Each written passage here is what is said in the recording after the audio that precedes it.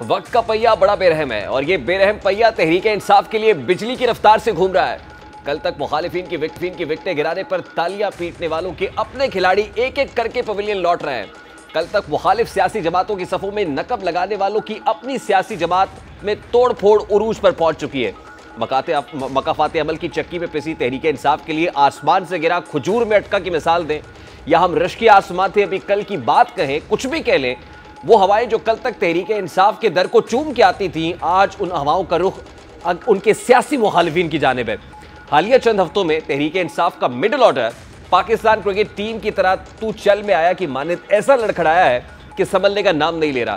तहरीक इंसाफ के front runners Usman Sadaqat Ali Abbasi के बाद आज फरूख हबीब भी पवेलियन लौट गए।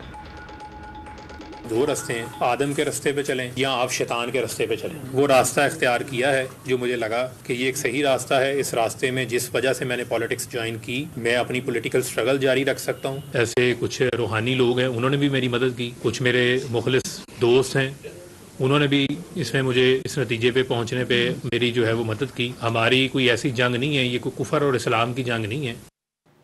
वो फरूख हबीब जो कल तक कप्तान की शान में ज़मीन व आसमान एक किया करते थे, आज उनकी तोपों का रुख अपने ही कप्तान की जानब दिखाई दिया। पॉलिटिकल लीडर्स घरों से गिरफ़्तार होते हैं, माजी में भी हुए हैं। अगर आप नेल्सन मंडेला की मिसाल देते हैं, अट्ठाईस साल उसने जेल काटी है तो नेल्सन मंडेला ने क्या लट्ठा बरदार फोर्सेज बना ली थी? क्या आप अपनी यूथ को ये बता रहे थे कि पेट्रोल पंप बना के पेट्रोल पंप जलाओ? या आप पुरमन तरीके से अपने पैगाम को इतना स्ट्रॉन्ग करते हैं, आप जमहूरी अंदाज से चीज़ों को लेकर चलते हैं, कि आप अपना अल्टीमेट टारगेट जो है वो अचीव कर लेते हैं?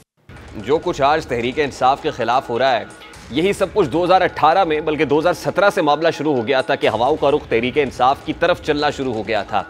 आज बदला सिर्फ़ ये है कि शख्सियात बदल गई हैं, किरदार बदल गए हैं, बदल गए हैं सिचुएशन मोर और लेस सिमिलर दिखाई दे रही है।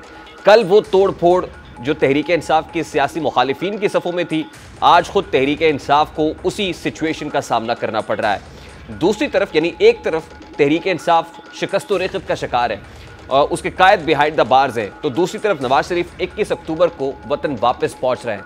और बकौल मुस्लिम लीग नून मीनार पाकिस्तान में इतने लोग आएँगे कि ग्रेटर इकबाल पार्क छोटा महसूस होना शुरू हो जाएगा। अब इसको रिलेट कीजिए, वो तहरीक इंसाफ के 11 अक्टूबर के जलसे के साथ जो मीनार पाकिस्तान के साय तले होता है, और उसके बाद तहरीक इंसाफ की आबियारी इस अंदाज में की जाती है और उन पनीरियों में इसको उगाया जाता है। कि जो कामयाबी की ज़मानत होती है। अब लेकिन नवाज़ शरीफ के लिए मुल्क वापसी से कबल बहुत से मसाइल अपनी जगह बदस्तूर बरकरार भी हैं। उन पर डील के ज़रिए मुल्क वापस आने का इल्ज़ाम लगाया जा रहा है। इसके अलावा कानूनी मसाइल अपनी जगह बदस्तूर बरकरार है। मियाँ साहब के लिए पैरा मरहला हिफाजती जमानत प्रोटेक्टिव बेल है, जिसमें बहुत से मसाइल आड़े आने का अंदेशा है और अभी तक मुस्लिम लीग नून की जानब से भी अदालत से रुजू नहीं किया गया। जरा इस बात की तस्दीक कर रहे हैं कि नवाज़ शरीफ के वकला अड़तालीस घंटों में इस्लामाबाद हाईकोर्ट में फ़ील्ड और अलजीजिया फैसलों के खिलाफ दरखास्तें दायर करने जा रहे हैं। ताकि सबक वज़ीर अजम की वतन वापसी की राह में हायल रुकावटें दूर की जा सकें। उधर पाकिस्तान पीपल्स पार्टी भी खम ठोक कर मैदान में आ गई है।